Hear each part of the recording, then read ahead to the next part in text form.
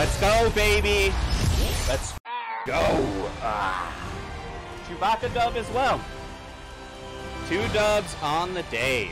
Welcome back to the channel, lads. It is May 4th, and that means it's time for the annual Star Wars x Fortnite crossover. And this might be the most ambitious they've ever done, is there's something new in every part of the Fortnite multiverse, so we're gonna check out the patch notes so I make sure I don't miss anything new in this video. My name is Sourheart, and if you want to support this channel, be sure to use that code in the Fortnite item shop when buying any of these Star Wars cosmetics, including the LEGO Battle Pass, which is exclusive to that mode. And this is probably the biggest thing added in this update. By simply buying this Battle Pass, you'll get a Chewbacca skin, but there are many things within this Battle Pass and I don't think anyone expected Fortnite to actually do this, especially coming off of the Avatar The Last Airbender collab battle pass, which was actually 400 V-Bucks cheaper. If you'll notice, this is 1400 V-Bucks. And it's actually very easy to unlock all of these cosmetics. There's a couple of quests too that you can do to get some free cosmetics, but it's only a bed and a chair, very minimal free rewards in this. However, when you enter the LEGO Fortnite mode, you'll actually witness a special event that is, again, exclusive to this game mode. And it's gonna unlock a whole series of quests and challenges, including a brand new village square. In fact, the changes are so extensive that Epic Games has made a blog post just for this. And as we can see, these quests will be about helping the rebels build up their rebel village, and you'll unlock special tools such as lightsabers and Empire or Rebel blasters as well. As it says right here, before investigating the Empire crash site, you should check with your rebel allies and they'll give you a special pair of macro binoculars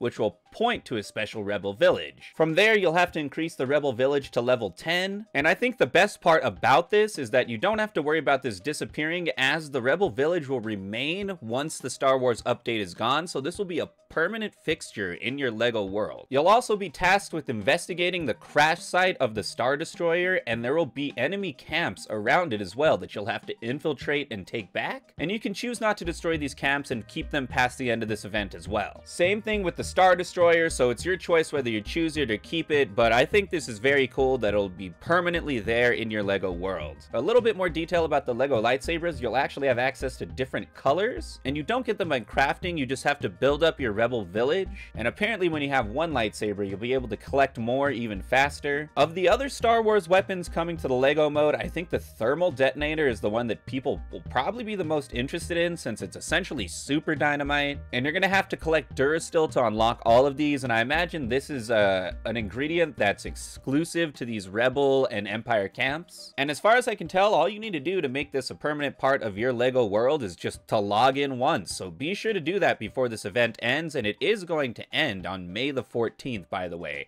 Only 11 days, very short event. But that's everything we were talking about the LEGO mode. Let's talk about the Battle Royale mode and all the changes there. The biggest change by far is the addition of Chewbacca to the map, and you have to save him from the Empire. And he'll be a prisoner that'll randomly spawn at the beginning of every round of Battle Royale. And once you liberate him, you'll actually get his bowcaster. And this bowcaster is very interesting as you can actually shoot individual shots very quickly or charge him up for an explosive round. And even if you don't manage get Chewbacca, you'll actually be able to find these inside Imperial chests as well. And there's also the returning E11 blasters, which I'm not particularly a fan of. They were never really that great, and I imagine they're going to be even worse now that rifles can be scoped. We also have the return of Darth Vader, and he brings his lightsaber as well, and the lightsabers are okay. They have the ability to reflect bullets, and this one in particular can be thrown for a ranged attack, which is probably the better way to use it as the melee attack only does 150 damage over 5 strikes, diminishing returns for sure. Now there is a free back bling in Battle Royale and the quests for this are going to unlock in two phases, so you're not going to be able to unlock this back bling immediately. And interestingly, this back bling actually belongs to a skin they're selling in the shop and they made a special screen for it and everything. So they're really trying to entice you to buy in and you're going to see that when we go through the shop here further in the video. In the festival mode, they've turned the jam stage into the Mos Eisley Cantina. A nice little cosmetic change though, I don't really really ever play the jam stage. I barely even play the main stage. And there is a special quest reward to unlock a Star Wars themed guitar. And they've actually released one of the cheapest instrument bundles ever in Festival for this event. Though I should warn you that this Cantina Band track is copyrightable. You can't put this in monetized content. So any content creators out there watching,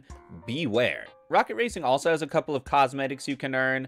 two car decals, and a wheel trail as well. And you're to unlock these literally just by playing this game mode, and all the quests are unlocked right at the start. And I think the point of these quests really is just to get people playing, because Rocket Racing is by far the least of all aspects of this Fortnite multiverse. It barely even has 10k players average. And there actually used to be a time limit on the challenges related to this game mode, but they simply removed that. And the time limit for the Star Wars challenges is actually longer than the Star Wars event itself, which is very interesting.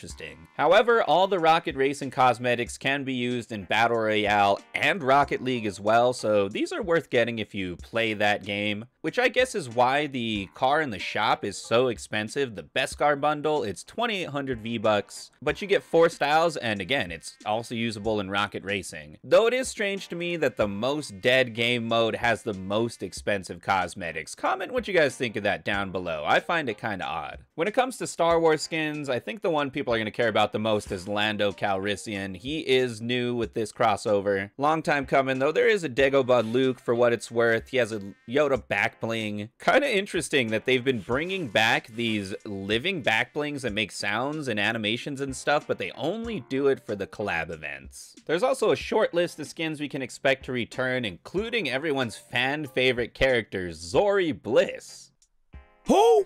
What was the point of Zorii Bliss in the Star Wars sequel trilogy? I still don't know what the hell they made that character for. But be aware that all of this ends on May 14th. It is a very short mini collab event, so be sure to drop on in, get all these quests, get all these limited time cosmetics, definitely drop into LEGO Fortnite at the very least so that you have all the new Star Wars stuff on your map because it'll permanently stay there forever. Of course, use code SOURHEART if this video helps you out or if you want to support this channel. Comment down below what you think of this crossover and be sure to subscribe because I'm going to be doing videos where I max out my Rebel Village. I'm also going to be doing a video where I get a solo W using only the Star Wars items in Battle Royale and you're definitely not going to want to miss those.